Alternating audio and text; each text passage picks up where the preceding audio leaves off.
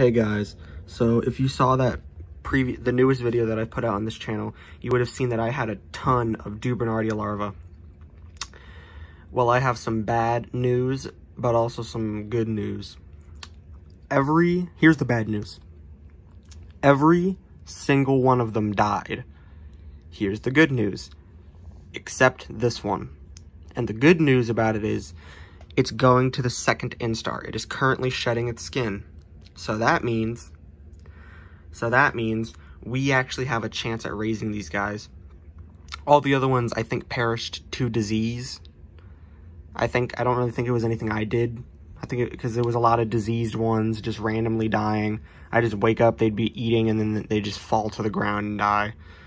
I think, I think it was just disease. But this one, this one is surviving. So I'm going to keep you guys regularly updated on it.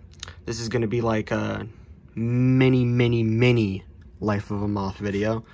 Just going to be like a few, just checking up on it every now and then. And um, keeping it, you know, good and well. And then we'll show the uh, adult at the end. I really do hope it is a male. Speaking of males,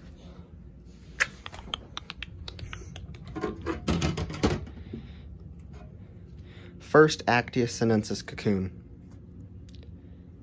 And the pupa in there is a male. We have our other Actias sinensis in here. I'll take him out.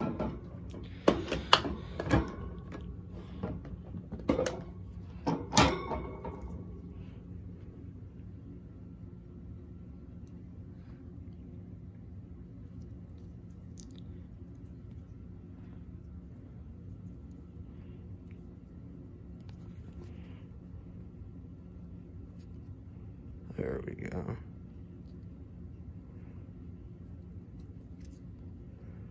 That's the other one. I'm just gonna go. I'm gonna go get some new food, and uh, I'll do that. And yeah, every single Luna has made a cocoon. Here's the most recently pupated one.